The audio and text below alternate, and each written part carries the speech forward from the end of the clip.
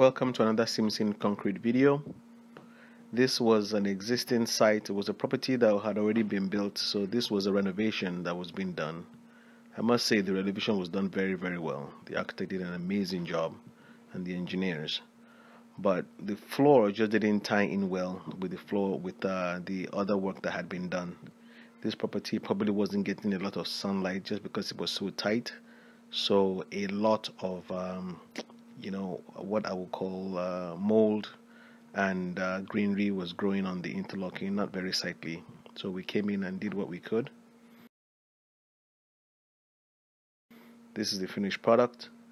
They chose a pretty, well, I'll say this is a pretty straightforward design. If you can notice, this video was actually taken right after a rainfall, so you can see the water beating now. This water is just going to evaporate. It's not going to sink into the concrete um, mold and uh, green fungi, no, not fungi, Spirogyra is not going to start growing on this. The water is just going to bead and flow away. So we were happy to actually come in, be able to do this job. We had we struggled a bit with rain on this property because this was done in the rainy season, but we managed to pull it through. We were really happy with this. The client was happy. We're happy when our clients are happy. So if you want something like this done on your property, you can always reach us on Instagram with the handle Simpson underscore concrete. You can also call, uh, reach us on WhatsApp.